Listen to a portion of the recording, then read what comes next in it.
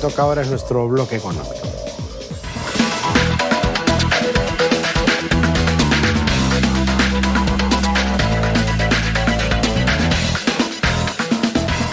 A ver, el Ministerio de Economía, a través del titular de Curburneo, ha lanzado lo que se ha bautizado como Impulsa a Perú, lo que quiere es reactivar nuestra economía eh, para empezar a crecer un poco más de lo que se está creciendo, que en realidad es muy, muy poquito.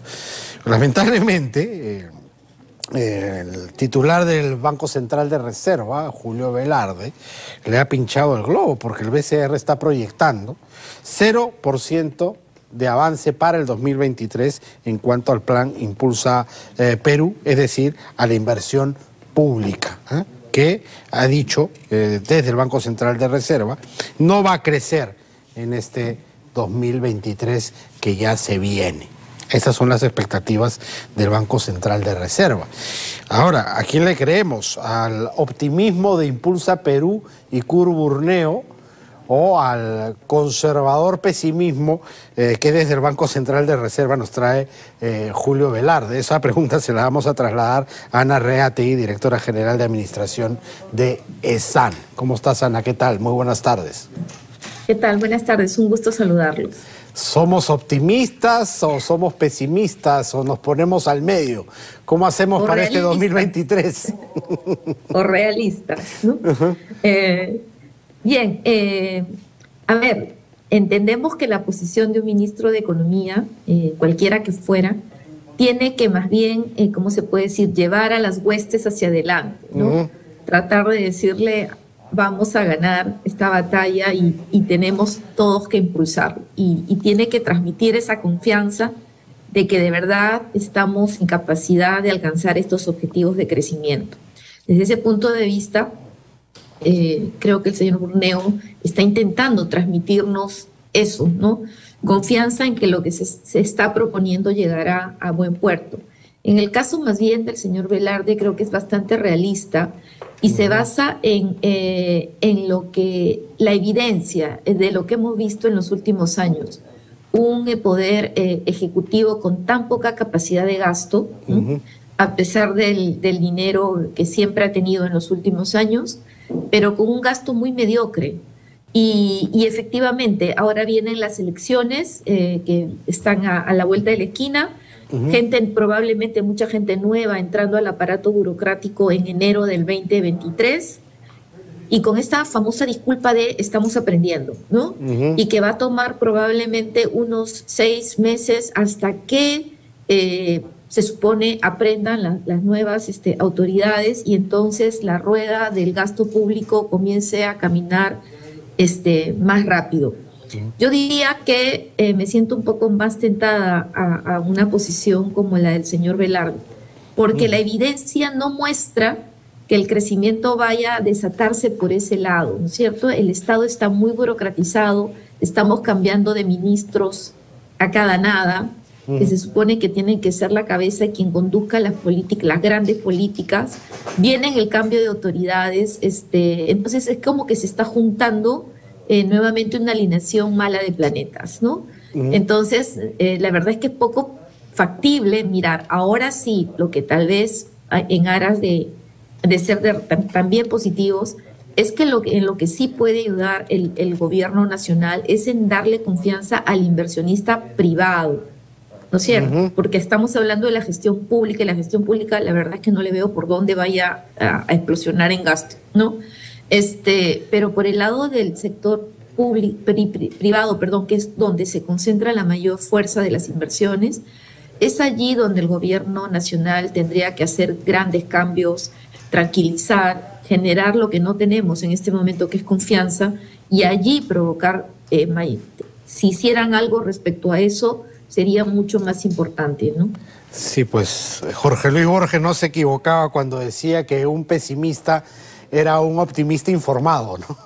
finalmente, finalmente creo que estamos por esa, por esa línea y por esas dos cosas que tú dices. Tenemos cambios masivos de autoridades que hasta ahora no han dado la talla tampoco. O sea, nosotros eh, eh, enfilamos nuestras críticas hacia el gobierno central, pero en temas regionales y municipales andamos peor, ¿no es cierto? En cuanto a gestión pública.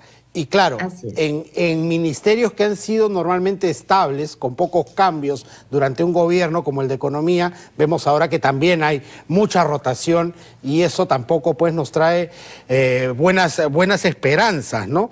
Finalmente, ¿en cuánto crees que nos situemos en, cuanto a crecimiento? Porque ya se habla de estar para el 23 alrededor del 3% nada más, ¿no? que no alcanza pues, para, para generar desarrollo la verdad es que lamentablemente yo soy voy a caer en, el, un poco en el, pesimismo del, 2023. Eh, es verdad que habrán menos problemas eh, respecto a la inflación, por ejemplo, eso sí, esa es una buena noticia, pero la, el problema es que las tasas de corrección de crecimiento se están dando a nivel global. Las demandas globales son las que están cayendo y como bien sabemos, nosotros dependemos en el caso de un motor fuerte que nos está ayudando en estos momentos críticos, que es la balanza comercial, nos va a golpear allí. Entonces, eh, la minería golpeada, eh, las menores demandas mundiales, caída de precios minerales. La verdad es que nos va a quedar todavía una balanza comercial positiva, pero cada vez menos potente por problemas en el 2023 nacionales y especialmente globales y eh, nos queda el motor del consumo. Nosotros mismos tenemos que, vamos a decir, como sería en simple parar la olla, ¿no es cierto? Nuestro propio consumo tiene que defender un poco la economía nacional eh, y obviamente la inversión, es el, que es el gran, la gran piedra, es la que está en este momento sufriendo y con la que todos deberíamos de apoyar, pero no, no hay... No se ve luz en el horizonte respecto a este gran motor, de este gran motor de la economía y eh, el gasto del gobierno al que acabamos de ver que también está en problemas. Entonces, apuntaríamos a consumo y apuntaríamos a balanza comercial. Entonces, ahí tendríamos que concentrar nuestras fuerzas, pero lamentablemente respecto a la balanza comercial, el 2023 no es que pinte mal solo para el Perú, es en general, ¿no es cierto? Entonces ahí vienen estos temas de lo que ustedes siempre nos informan, la crisis energética, los problemas bélicos, y tú dices, ¿qué tiene que ver conmigo toda esta eh, no sé, cosa que suena tan sofisticada, ¿no es cierto? los, problemas chorrean de arriba para abajo, pues, ¿no? Claro, los ciudadanos que estamos aquí tratando todos los días de trabajar y ver nuestras ventas, nuestros gastos, etcétera. Sí, la verdad es que tenemos que aprender a, leer esta información un poquito, aunque sea, y, darnos cuenta de que este mundo en el que estamos sí nos, sí nos puede afectar, por ejemplo, temas como de repente un tipo de cambio, si yo me quiero comprar una refrigeradora, en qué moneda debo de endeudarme, tengo que cuidar de no tener deudas este, tan largas en estos momentos, no debo confiarme en el facilismo del uso de la, tasa, de, la tasa, de la tarjeta de crédito.